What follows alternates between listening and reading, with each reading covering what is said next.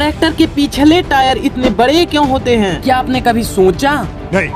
अगले एक मिनट में आपको पता चल जाएगा कि ऐसा क्यों होता है।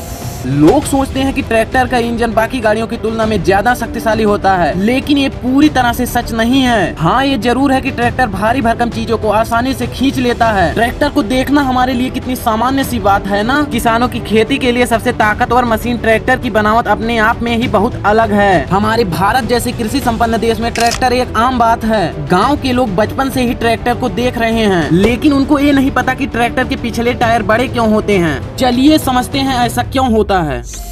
देखो, ट्रैक्टर किसी कार और बाइक के मुकाबले अधिक कीचड़ या मिट्टी में आसानी से अपने काम को अंजाम देता है। ट्रैक्शन कम होने की वजह से कार या बाइक कीचड़ में फंस जाते हैं, लेकिन पिछले टायर बड़े होने के कारण ट्रैक्टर आसानी से निकल जाता है। ट्रैक्टर में पीछे बड़े टायर लगाने से टायर कीचड़ में धंसता नहीं है और अच्छी पकड़ बनाए रखता है। और रही बात अगले पहिए की तो ट्रैक्टर के दोनों अगले पहिए छोटे इसलिए लगाए जाते हैं ताकि मोड़ पर घुमाने में आसानी रहे। साथ ही साथ आगे देखने में भी आसानी होती है। ट्रैक्टर का इंजन आगे होता है, इसलिए वज़न को बराबर रखने के लिए पीछे बड़े टायर लगाने ज़रूरी हैं। साथ ही पीछे वाले दोनों बड़े टायर लोड खींचते वक्त ट्रैक्टर को आगे से उठने नहीं देते हैं और ट्रैक्टर आसानी से खेतों और कीचड़ में चल सकते हैं। आप गाँव से हैं या शहर से, कॉमेंट में ज़रूर बताएँ। आपका बाहुमूल्य समय देने के लिए धन्यवाद।